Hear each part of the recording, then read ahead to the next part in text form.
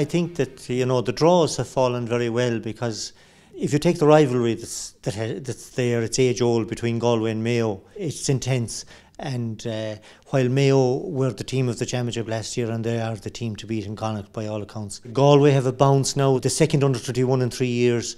And um, you know they, they they will rise to it, and they have it at home in Pearse Stadium, and you know, turnovers have happened in the past, and you never know what, you know, nobody can predict what will happen. The league was an unusual um, experience for us, really. But with with the um, with the game some, coming so thick and fast on May 19th, if we got to a league final, we've only had three three weeks to to to prepare for the Connacht Championship. So, in a way, we were delighted. The the main objective of the league was to, to survive. Um, we got to a semi final. We tried our best against Dublin, but unfortunately came up short. But all in all, with the league, we, we were quite happy the way it went. We're playing Galway um, in Galway, so um, that's a test that you want. So. Uh, yeah, we're looking forward to that challenge. We prepared well for it. Um, you know, it's, it's it's been in our minds at the beginning of the year. So, um, as I'm sure it has been for Galway. I think it was a quite an up and down league for Galway. We we, we, we had some good performances, followed by some very poor performances as well. So obviously the, the consistency wasn't there that we were actually craving. We started quite well against the, the eventual champions Derry. I think we were the only team to beat them, and we, we came close to beating Westmeath and Tuam as well. We, we, we ended up drawing, but it's a game we really should have won. So by those performances against obviously the eventual finalists, that we took a lot of positives from that. We've a nice young team. Um, we've done a lot of work during the winter. Now, there's not a lot of expected of, of us.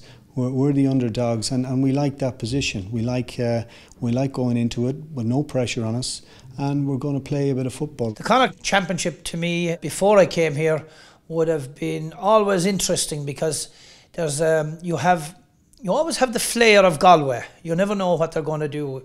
You have the hugely energetic Mayo. You have the resilience and toughness of Roscommon. I always fancy Sligo because their slickness.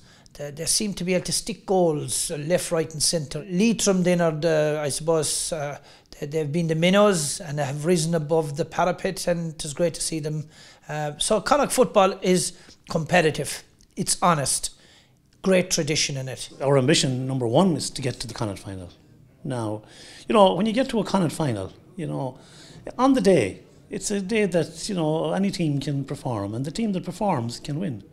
And it's rarely you ever see a lopsided or a one sided Connacht final. We're getting stronger since the league ended. It's just we had a few knocks now. Nothing that would have, you know, you accept that every year through the league, and we prepared as best we could for the league. Like, but it's great to get lads back and with a few new fellas coming in and lads showing up. So it's great for these few weeks. You know, everyone's been pushed at training and there's that little bit of age as to how the championship team will be we've been working on a game plan, so I suppose since I've been involved for the last two and a half years, and we're going to try and implement that as best we can and and give Sligo a good game. If things go right for us, we might end up the right side of the result, but we're going to focus on our performance first, and if if we if we do that, the result will look after itself.